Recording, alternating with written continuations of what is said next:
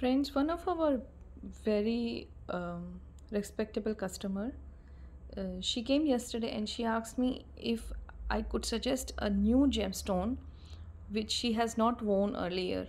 She has a lot of gemstones and mashallah she's she loves all her gemstones. So I suggested lemon quartz.